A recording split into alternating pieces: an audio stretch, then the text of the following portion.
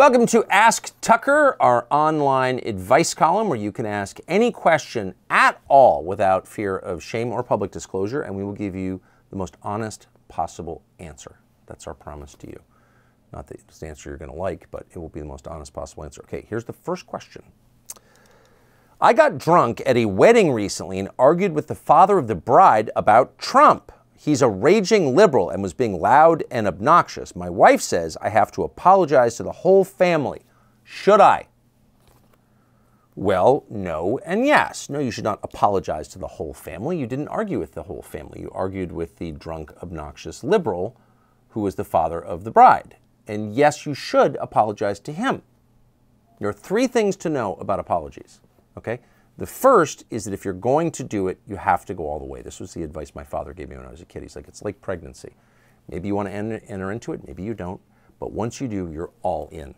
There's nothing more pointless or counterproductive than a half hearted apology. If you're going to apologize, go all the way. Okay? The second thing to know about an apology is that it frees you. If there's any question about whether you did something wrong, just admit it. Why do you care? You don't care because you know exactly who you are. You're not insecure. Why do you care what this guy thinks of you? You shouldn't. His opinion is not worth anything.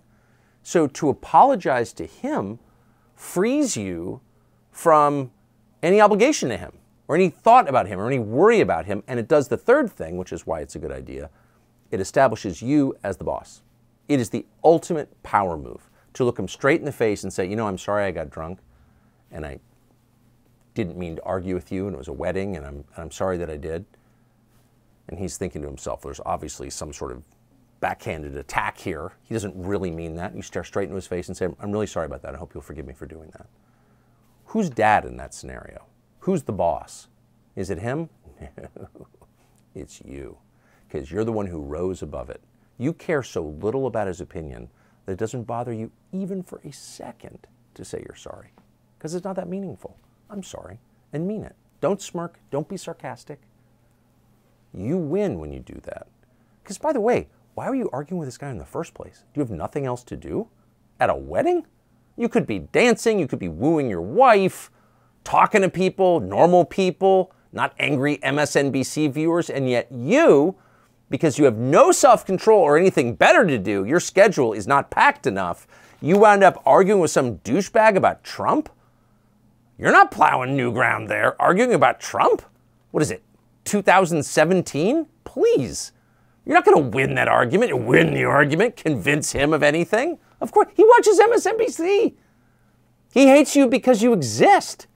Don't engage with him. You're right. Trump's a genocidal maniac, fascist Nazi. All right, you're great.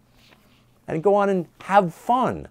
If you want to win, in other words, if when all of this is over, you want to be in the top spot, maybe not financially, but spiritually, enjoy yourself. Don't get caught up in the traps before you like assholes like that. So, of course, you apologize. Plus, your wife will take the same message. You're a bigger man. That's true. You should do that. You lose nothing. All right. Second question. My daughter's best friend recently started an OnlyFans has been buying a lot of expensive designer clothes, even a car. I'm worried my daughter will fall into the same trap. How do I prevent